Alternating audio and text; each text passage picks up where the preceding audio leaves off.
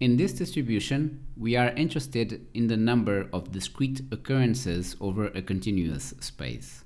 Number of customers, discrete variable, entering a store within 60 minutes, continuous variable. Number of accidents in a road.